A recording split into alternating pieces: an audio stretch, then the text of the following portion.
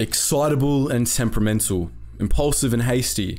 These are a few traits you probably wouldn't associate with one of the most celebrated female spies of the Second World War, but you'd be wrong.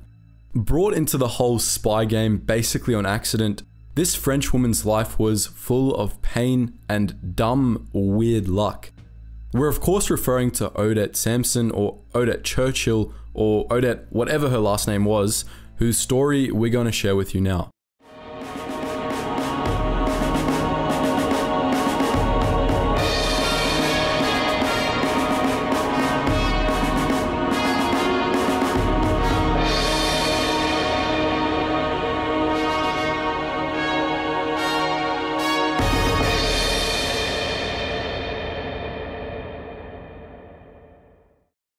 Born Odette Marie-Léon Céline Brailly in 1912 in the city of Amiens, France, Odette would come to know tremendous pain very early in her life. At just 8 years of age, her father was killed in the Great War and she was also blinded by disease for over 3 years, for which she spent the majority in bed. Despite her weakened state, she was still a bit of a headstrong terror, proving to be a handful for her family. Leaving her illness in the dust and becoming a woman, Odette married an Englishman in 1931 and followed him across the English Channel to Britain. By the time World War II broke out, Odette had popped out three children, and when the bells were rung, her husband went and joined the army. Their marriage basically went south from there. A few years into the war, with Odette's homeland well and truly crushed, she was probably feeling pretty good about her decision to move to Britain. In 1942, the British government department responsible for the command of the Royal Navy asked anyone with photos of the French coastline to post them in. Odette, being French, had some gram-worthy photos and decided they would get more likes if the government posted them. With proper credit, of course. But in a classic Odette move, she sent them to the wrong bloody department. Heads were shaken and her letter ended up with the Special Operations Executive instead. Through sheer luck, or is it ill luck, she was subsequently asked to try out as an SOE agent, her French heritage being of great use to the SOE, as if she accepted, she would operate in France. Despite being a little excitable, temperamental, impulsive, and hasty, and despite the fact that the SOE said that she was completely willing to admit that she could ever be wrong, Odette was also determined and keenly patriotic. They took her on, teaching her how to end lives, endure torture, and operate in enemy occupied territory before shipping her to France, where, after a bit of a shake up to her original plan, she made contact with the leader of the Caen based SOE network, Spindle, one Peter Churchill. For over a year, having been assigned the codenamed Lise, Odette worked as a courier and radio operator, essentially helping the French resistance communicate with the SOE and stay in the fight. In this time, Odette became good buddies with the aforementioned Peter Churchill. Early in 1943, the German Gestapo were bloodhounds on Spindle's scent, and Odette fled with Churchill to the village of Saint-Gilles on the Italian border. While she might have escaped the hounds, another, more stealthy creature had set its sights upon her.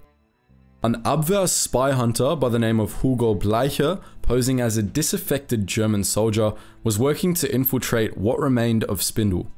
After meeting with Odette, he detected a whiff of her lie, and on the 15th of April 1943, Odette and Churchill had an unannounced visitor arrive at their hotel. It was Bleicher, of course, accompanied by several Italian soldiers.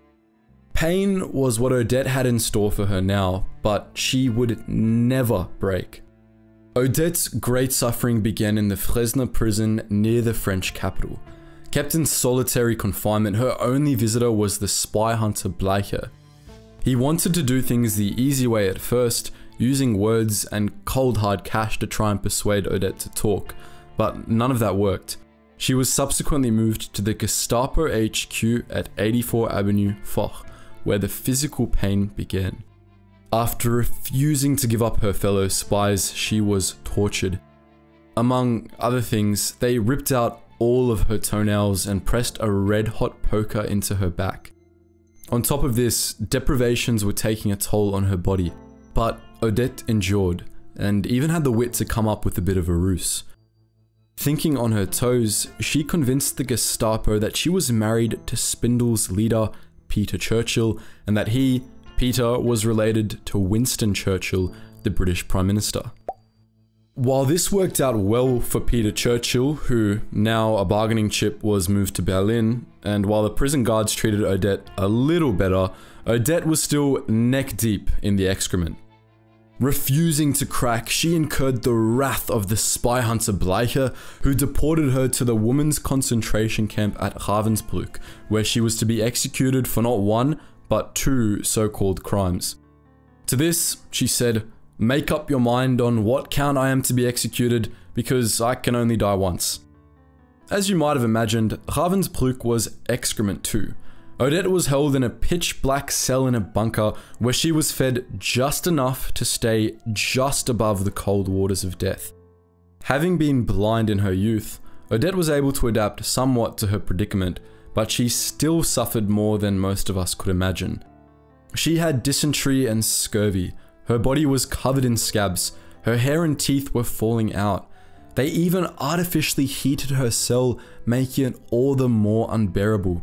At one point, she was moved to a different cell near the crematorium. Here, she could smell the bodies burning and even heard screaming as if they were cremating some inmates alive. What kept her going was the prospect that she might, however unlikely it was, live to see her children again. She also remained focused on the here and now and not too far in the future. If she could, in her own words, survive the minute without breaking up, then that was another minute of life. When the Allies liberated France in August 1944, Ravensbrück camp commandant Fritz Suren tried to pull a fast one, taking Odette and driving to an American base in the hopes that with Odette's connections to Winston Churchill, he could strike a deal and avoid execution. This was, unfortunately for Fritz, not the case. He swung from a rope in 1950. As for Odette, she was free but wasn't looking so good. After being returned to Britain, she underwent months of medical rehabilitation and also learned that Peter Churchill had survived, all because of their ruse. After the war, Odette received a range of honours, including but not limited to the British George Cross and the French Legion of Honour, and testified against various war criminals, including the 1000 IQ Fritz Suren. Evidently, Odette's relationship with Peter Churchill grew pretty steamy after the war, as she dumped her husband and married Peter in 1947, becoming Odette Churchill for real this time. It was a wedding of spies and was quite popular in the media in both Britain and France. But it didn't last. Nine years later, she gave Churchill the sack too. She married a former SOE officer that same year, becoming, finally, Odette Hallowes, whom she perished as in 1995 at 82 years of age. But we're interested to hear what you think. Had you heard of Odette of many last names before this video? Do you think her Churchill ruse was a good one? Lastly, can you think of any other awesome spies from the Second World War that we could make into a video? Let us know in the comments section below. And just before you run off to those suggested videos, guys, if you're looking for high quality history videos that explore a whole range of errors and topics, then make sure you check out our new channel, The Braved, where we post new uploads every week. And if you're more into the music side of things, we also have our Relax Jack, where we use some of the music posted there, here on the videos here on the front. And if you just want to help support the channel and get access to a behind the scenes Discord where you can chat to myself and the team, as well as exclusive videos, then consider donating to the Patreon. And if you just want to join our wider community, check us out on Facebook, Instagram, and Discord. Anyways, guys, as always, thank you so much for watching, and I hope you learned something new.